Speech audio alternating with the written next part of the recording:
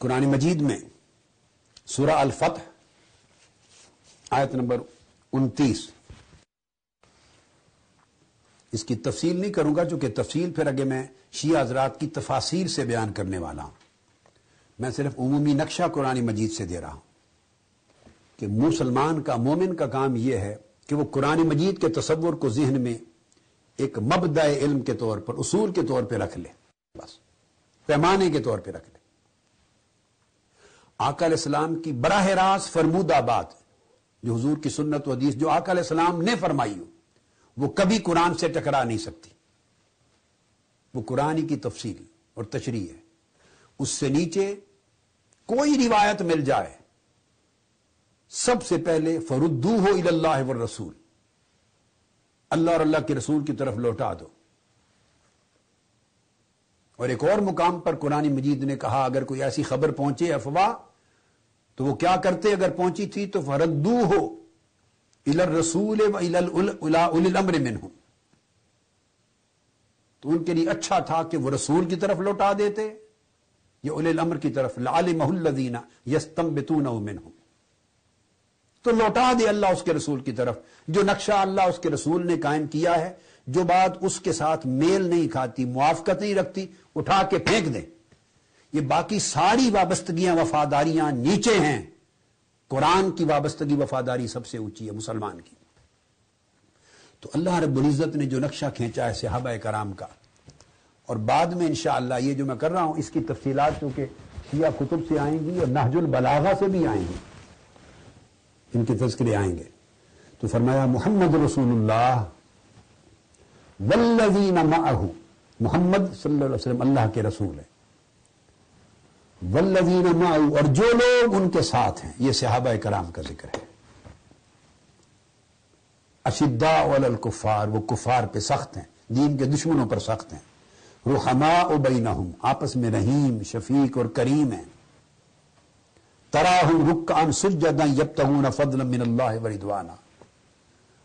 आप उन्हें हमा वक्त रूह को रुकू सुजूद में देखते हैं, इबादत गुजार हैं, और अपने हर अमल में अल्लाह की फजल और उसकी रजा के तलबगार हैं। उनके चेहरों पर, माथों पर सजदों के निशान हैं। यही बात आपने देखी थी मौला अली शेर खुदा के उस खुतबा में, जो मैंने कल आपको कोट किया था। यही बात आपने फरमाई थी। जो सीदना अली शेर खुदा रज़ी अल्लाह तु का फरमान, यही था सीदना मौला अली शेर खुदा का कलेमा जो कुरान ने कहा है। सुजदन और तराहम रुक्कान सुजदन यब तगुना फदरम मिन मौला अली शेर खुदा फरमाते हैं, नाहजुल बलागा में जब फरमाया, लकद रई तो असाब मोहम्मद सल्लल्लाहु फमा शासन वकद बातू क़ियामा. तो मैं बात कर रहा हूँ, कुरान मजीद ने कहा, वल्लजीन माहू जो हुजूर के साथ हैं इर्द गिर्द हैं के साथ अब बदकिस्मती ये है, चूँकि जहन बन गए जहन बन गए। और उन जहनों की एक खास माइंड सेट है साख्त है। उसने पहले से जहनों में बिठा दिया है कि माजल्ला ये बात, अब मेरी ये बात थोड़ा गैर जानबदार होकर सोचिए और सुनिए। गैर जानबदार हो थोड़ी देर के लिए सुनीयत और शीयत से जो बने हुए जहन हैं, उनको जरा महफूज दाएँ बाएँ जेबों में डाल लें। माजरत के साथ कराम नाराज़ ना हो। मैं ये नहीं कह रहा भाई आप सुन्नी ना रहें। अगर आप यूँ समझेंगे तो फिर शिया जरा समझेंगे कि हमें कह रहे हैं शिया ना रहें। मैं किसी को भी न रहने का कुछ नहीं कह रहा। मैं ये कह रहा हूँ कि मेरी बात सुनने के लिए जो पहले से भरे हुए हैं जेन, जरा ख्यालात एक तरफ़ रख दें और सिर्फ़ कुरान के लिए जगह खाली कर लें। बात को समझने के लिए, कुरान की बात समझने के लिए थोड़ी देर एम्प्टी कर लें माइंड को न्यूट्रलाइज कर लें। तख्ती भरी हुई हो ना सारी तख्ती जब इमला कर करके भर जाए और नया कुछ लिखाना हो तो उस्ताद पहले कहता है कि इस तख्ती को धोएँ। आप भी स्कूलों में वो गाची लगा के पानी से धोते थे तख्ती।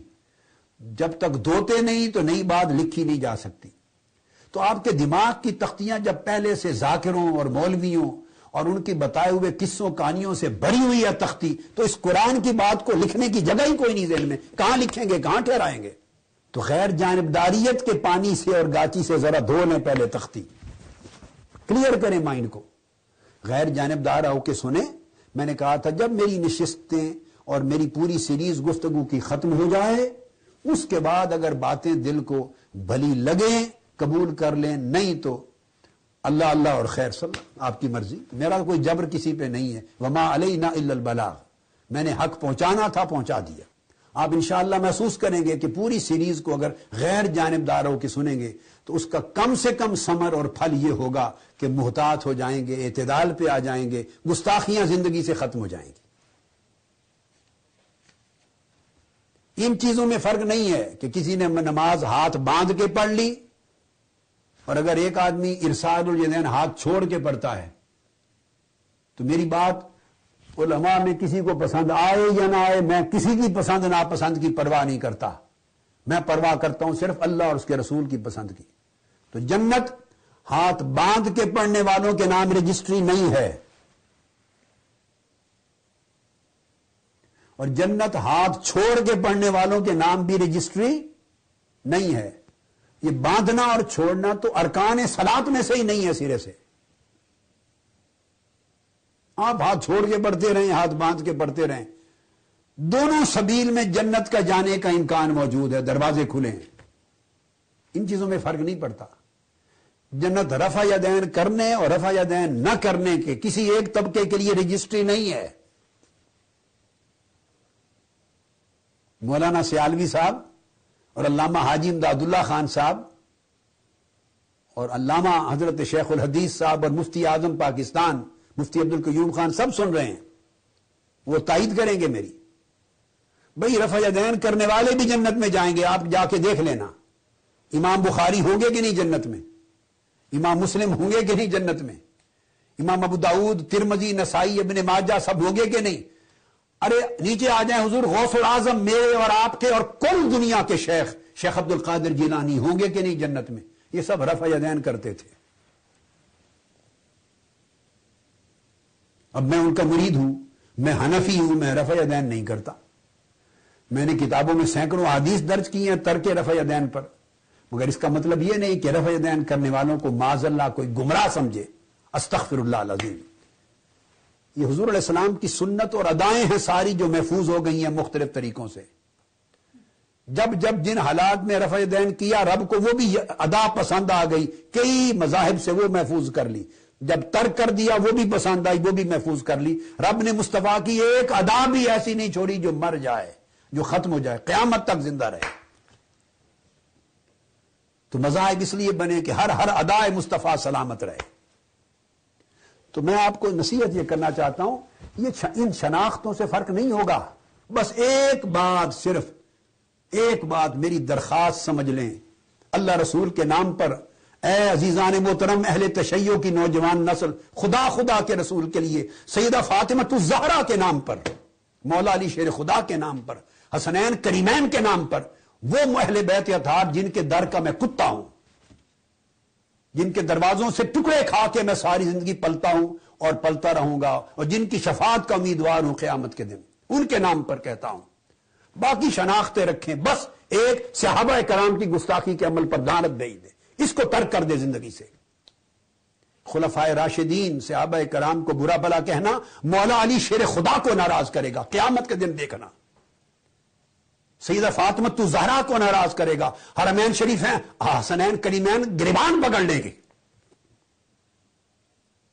माफ़ नहीं करेंगे। वो कहेंगे, हमारे दरमियान कोई दुश्मनी नहीं थी, अदावत नहीं थी, तुमने हमें आपस में दुश्मन बना दिया।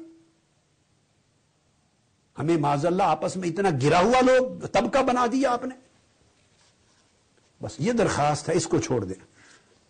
वही बात सीधना तो वो, आप अगर कहें कि वल्लजी नमा उसे मुराद जी, चंद लोग हैं। अब मैं बात करना चाहता हूँ कि अपनी सोच को कुरान पर मुसलत न करें। बस।